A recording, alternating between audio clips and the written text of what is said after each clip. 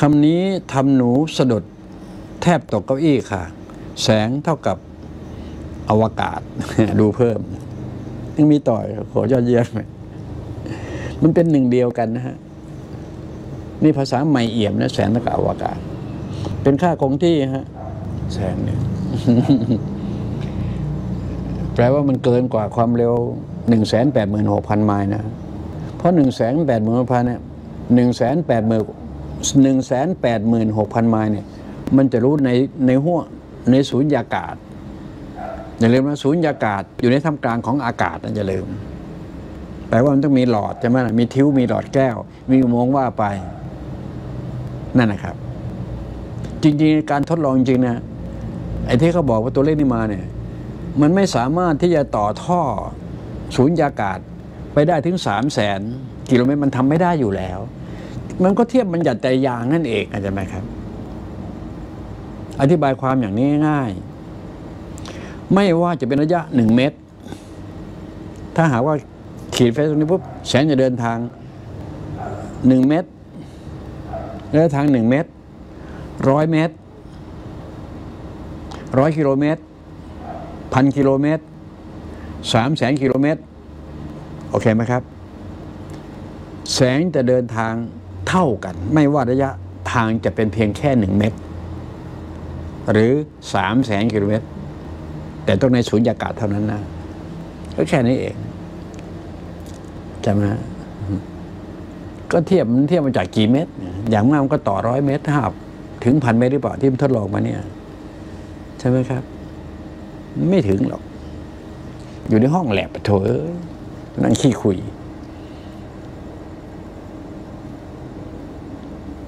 โอเคนะ อันนี้มาถึงอวกาศแล้วนะครับ ต่อคำนี้หนูสะดุดแทบตกเก้าอี้ค่ะ แสงเท่ากับอวกาศ หนูจำมาแทบหัวจะจมดินอยู่แล้ว จนหนูมาลุง พูดแสงเป็นอนุภาค อนุภาคคือคลื่น แสงคืออนุภาค อนุภาคคืออิเล็กตรอนโปรตอนนิวตรอน โอเคไหมครับ แสงคืออิเล็กตรอนนั่นแหละเห็นไหมหนึ่งในอนุภาค นั่นคือแสง โอเคไหมครับ แสงต้องอาศัยอนุภาคเดินทางแบบนี้ผิดแล้วสิคะไม่ใช่ แสงไม่ใช่อนุภาค ไม่ใช่ไม่ไม่ได้มาอาศัยอนุภาคเดินทางไม่ใช่ แสงคือเลยฮะแสงคืออิเล็กตรอนเลยนะครับ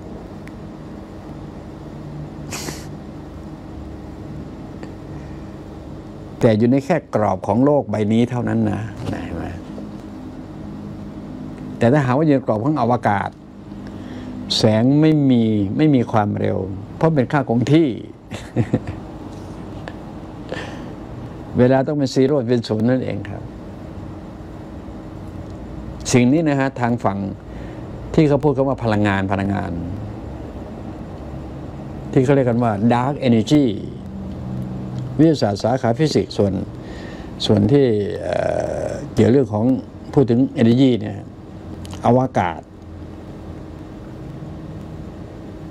ในเอกภพเนี้ยมีทั้งหมดอยู่ 75เปอร์เซ็นต์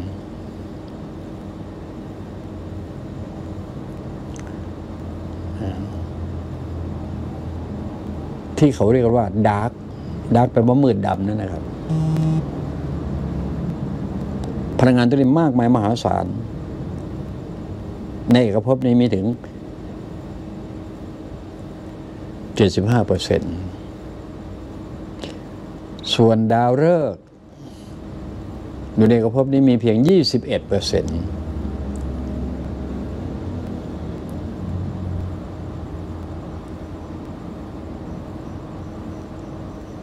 แล้วก็ดาวนพเคราะห์เยี่ยงโลกใบนี้ของเรา มีเพียงแค่สี่เปอร์เซ็นต์นั่นคือเขาว่า ใช่เปล่ารู้นะเดี๋ยวคิดก่อนไอ้ตัวเลขพวกนี้ผมยิ่งไม่แม่นเจ็ดสิบห้ายี่สิบเอ็ดสี่รวมเท่ากับเท่าไหร่วะเนี่ยเออ ลงตัวพอดีไว้ร้อยพอดีห้าบวกหนึ่งเป็นหกหกบวกหนึ่งหกบวกสี่เป็นสิบใส่ศูนย์เจ็ดบวกสองเป็นเก้าเป็นสิบพอดี โอเค ผมพูดไม่ผิดทางนั้น เขาว่าเขาว่า เห็นไหมทั้งหมดเขาเรียกว่า dark energy พลังงานมืดนั่นเองครับแปลว่าพลังงานซ่อนอยู่ในความมืด แต่ลุงบอกว่าใสครับ เพราะว่าลุงเห็นด้วยจิต มันคนละศาสตร์นะครับ จิตคือความใสจิตบริสุทธิ์คือความใสนะจำเลยครับ ผมก็พูดบ่อยนะนั่นนะ คือความใส ความสว่างนี่ยังไม่บริสุทธิ์เป็นเพียงแค่สะอาดนะครับสะอาดนะครับสะอาดถ้าถ้าบริสุทธิ์จะใสนะฮะมีลุงพูดคนเดียวในแผ่นดินสยามแห่งนี้จริงๆนะเรื่องจิตเนี่ยผมว่าใช่นะนั่นนั่นนั่นนะหรือหรือว่าใครใครเห็นต่างเชิญนะครับ เรื่องจิตเนี่ยส่วนมากที่ฟังฟังไปเดี๋ยวก็จิตเดี๋ยวก็ใจเดี๋ยวก็ใจเดี๋ยวก็จิตเดี๋ยวก็จิตเดี๋ยวก็ใจตรงนี้ครับ ไม่ว่าใด ๆ ก็ตามที นั่นน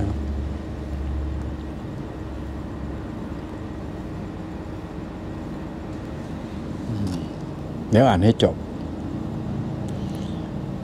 จนลุงมาพูด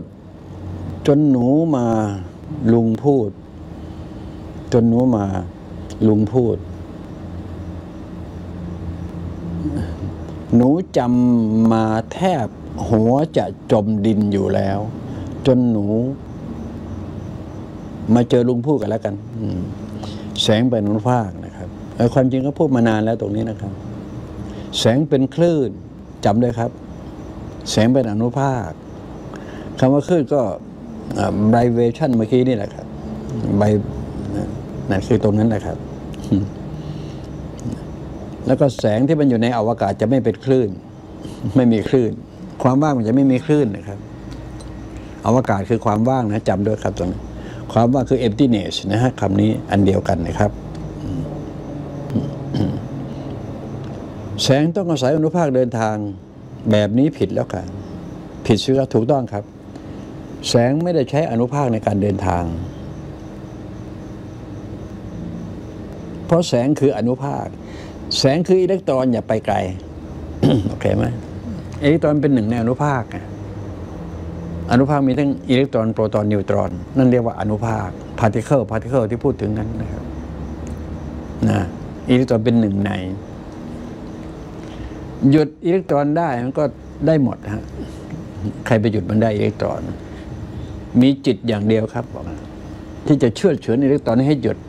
ภาษาพุทธศาสตร์เรียกว่าทุกขังอันนี้จังก็ได้อะที่มันวิ่ง อันนี้จะมันเคลื่อนที่ไงเปลี่ยนแปลงนั่นนะครับ ถ้าจะหากว่าเทียบค่าอนุภาคอิเล็กตรอนคืออนิจจังจำเป็นหลักได้เลย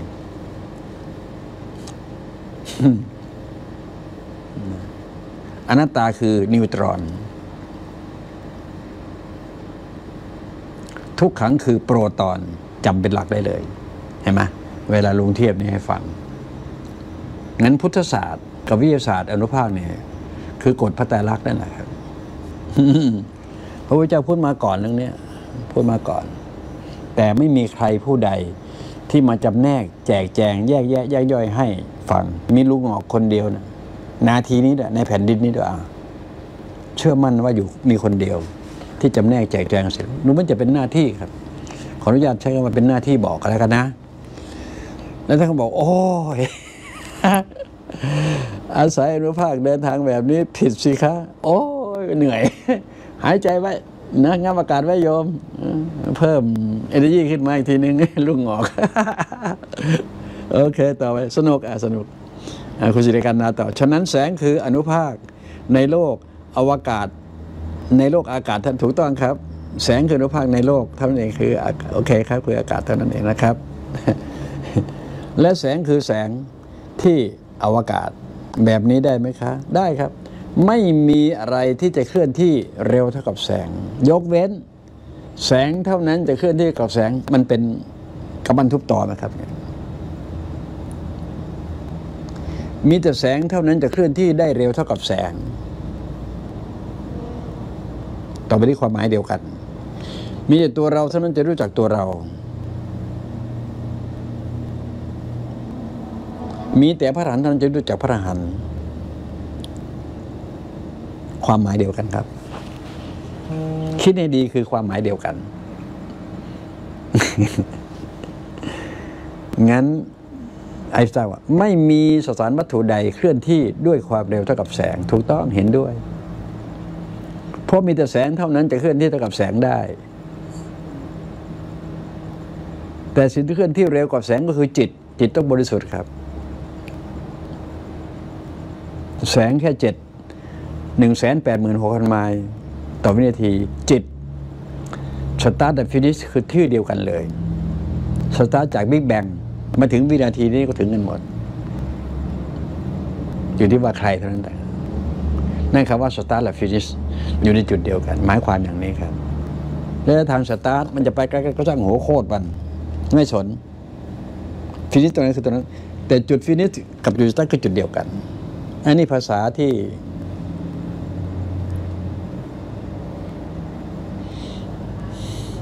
มันต้องคำว่า vacuum เท่ากับ pressure เท่านั้นจะรู้เรื่องตรงนี้ได้ action เท่ากับ reaction เท่านั้นจะจะรู้นี้จะรู้ตรงนี้ได้ แต่ควอนตัมนะฮะมันใกล้เคียงมากนะฮะกับตัวควอนควอนตัมจะใกล้เคียงมากกับสิ่งนี้ เพราะฉะนั้นควอนตัมจะมาเร็วมาแรงนะฮะพวกอินเทอร์เน็ตจะมา มีคำว่าควอนตัมเท่านั้นจะจะใกล้เคียงกับแสงมากที่สุดครับความเร็ว ความถี่ มีควอนตัมเท่านั้นจะใกล้เคียงกับแสงมากที่สุด ถ้าแสดงว่าถ้าแสงร้อยเปอร์เซ็นต์นะ ความเร็วแสงมีอยู่ร้อยเปอร์เซ็นต์คิดเปอร์เซ็นต์เลยควอนตัมความเร็วจะเท่ากับ 99เปอร์เซ็นต์ควอนตัมแปลว่ายังยังยังนิดเดียวจะเท่ากับแสง หรือผมจะให้ค่ามากกว่านี้ก็ได้ ถ้าแสงมีความเร็วเท่ากับร้อยเปอร์เซ็นต์ควอนตัมจะมีความเร็วเท่ากับ 99.99เปอร์เซ็นต์นี่ควอนตัมจะใกล้เคียงมากกับแสง กับความเร็วของแสง ไม่งงเนาะดีแล้วที่เขาพยายามทำความรู้จักกับสิ่งเหล่านี้ครับ ดีแล้ว โอเคครับ อย่าลืมหายใจง่ายอากาศตามสไตล์ของไตเติ้ลแมนเข้าไว้เนาะอืมเอาละก็หวังว่าคงจะสุดยอดครับ ข้อมูลเหล่านี้นะฮะมีดีก็ส่งมานิดนึง ถ้าเป็นภาษาอังกฤษได้ก็อยากจะได้นะครับ เพราะว่าผมอยากจะรู้ไอ้ความเต็มๆของด็อกเตอร์อะไรเมื่อกี้เนี่ยด็อกเตอร์ฟลุกเลยฟลุกหรืออะไรก็ไม่รู้